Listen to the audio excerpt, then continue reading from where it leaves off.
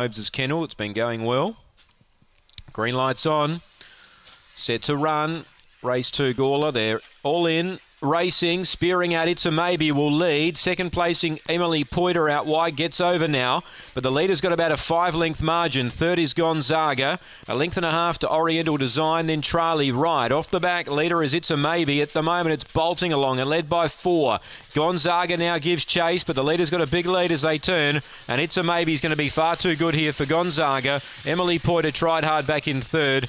Charlie Wright finished in fourth. And the other one, uh, Oriental Design has failed to complete the course.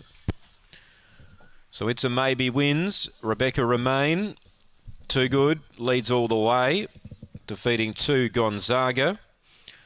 And Emily Poiter running third, one, two, and six. The favourite punter's spot on there. Eight got fourth, Charlie Wright.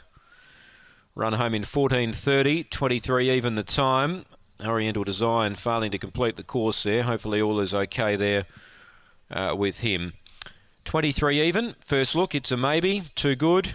Uh, trained by Rebecca Remain. Her team's going well as well at the moment. And she's been able to pick up the second race on the program. 1, 2, 6, 8, Gawler race 2.